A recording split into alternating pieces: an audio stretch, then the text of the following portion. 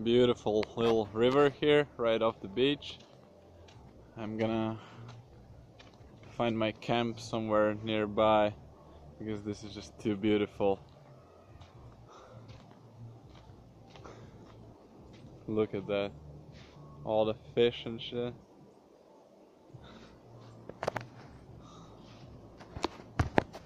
Hey yo.